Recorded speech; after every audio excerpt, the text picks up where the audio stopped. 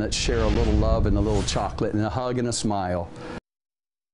Love, hug, smile, and chocolate. Uh, for many in Central Ohio, the holiday season really kicks in gear with the annual Village Light Celebration. Yes, so the streets of German Village will be filled with lights and holiday cheer, but there is one shop owner who might just rival the jolly old elf himself when it comes to the spirit of Christmas. It's a time where we get to kind of celebrate uh, the beautiful streets in German Village. Our neighbors put out luminaries, and the businesses stay open a little bit later and have some special treats for everyone. It's that nostalgic, homey, warm holiday feeling, all of the best parts that make the holiday so fun and why we want to celebrate. And at Schmidt's Fudge House, that homemade spirit is always on display. Do you know the one thing that when you do the handmade fudge, it's the old-fashioned way, so it's some copper kettles. It's the people coming in to watch it, the relationships you're making. So everybody's around.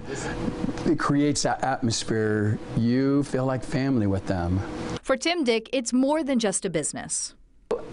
I'll tell you, I watch their uh, because everybody has different different taste buds, but it feels very good when they get in there and that mmm, and the things that people will say like, oh my gosh, this is like my grandmother made.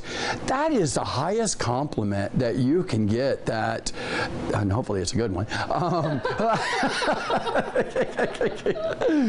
but it's it's it's something you created that somebody's enjoyed and you're sharing it. So you've made it and sharing it, that's a joy. That can certainly be felt here. I want and always have created a warm and welcoming atmosphere for everyone to come in and share what we have to offer. And I'm proud to share it. Always he a good is pure time joy. when pure you and Tim get together. Joy.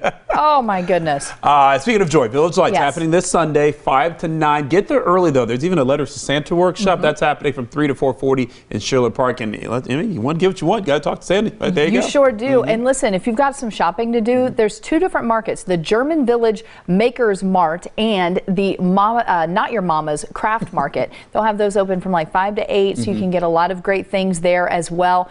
And I, I got an inside scoop. Okay. mhm. I've got it on good authority that the big man might be coming. Oh, just deliver your letter right there. There you go. You'd be able to talk to Uh-huh. him. He might even stick around to read a story. Okay. So hopefully a lot of people make it down. And if you're looking for a little added holiday cheer, at NBC4i.com uh, right now, Tim shows me the whole process of making fudge. Mm-hmm. So we did the the chocolate uh, pecan caramel twist. Yeah. I'm going to tell you, it, it was nuts. The pecan caramel. Pecan caramel twist. It's so good. It's in the home for the holidays section on NBC4i.com. Never gonna let that go. We just say it differently. Pecan caramel twist. Yeah, pecan caramel. Uh,